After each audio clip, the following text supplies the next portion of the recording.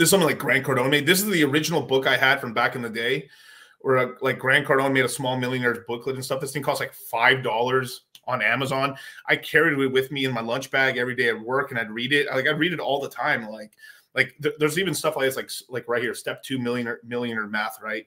Like and and the whole thing is basically like to look at a million bucks or look at making money in like bite-sized chunks you know so like when i was looking at this right like sal if, if you want to make a million dollars if you make $50000 today you guys it'll take you 20 years to make million dollars. You make $100000 it takes 10 years. You make a quarter million dollars it takes four years right? Now here's the crazy one right? If you earn if you look in order to make a million dollars you you have to earn about $114 per hour every hour of the year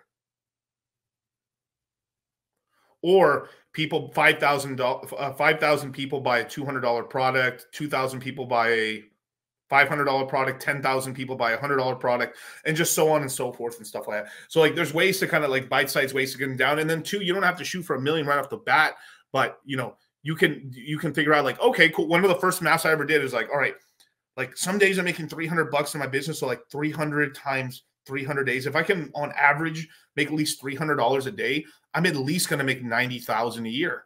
Holy shit. So then i just started doing the math and just figuring out ways to like where i can just become more and more profitable or do one extra job. And like miguel what's the point what's the point of making an extra $40 this day and 20 bucks this day? Because that shit would add up. Because like if it may not seem a lot to you guys, but like if I was able to make forty dollars extra a, a year, and let's just say I like I, it doesn't happen every single day, right? Like there's 365 days, right? But let's just take 65 of those days out of there, right? Okay, cool. That's taking like a day and a half out of every week, right?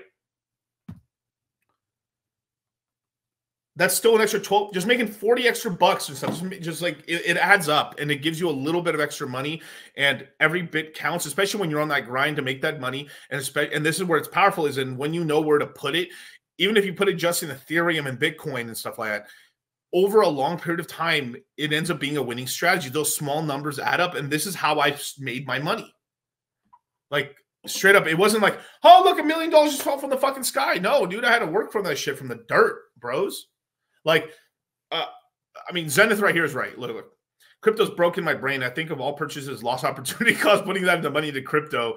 Yeah, like I had a meme in here. Um, I, I don't have it on this laptop right here, but um, there's a meme. There's a meme I had where basically it's like me spending five thousand dollars in crypto, and you're just like, versus like you're like you're you're at the you're at the supermarket tripping out about spending thirty bucks.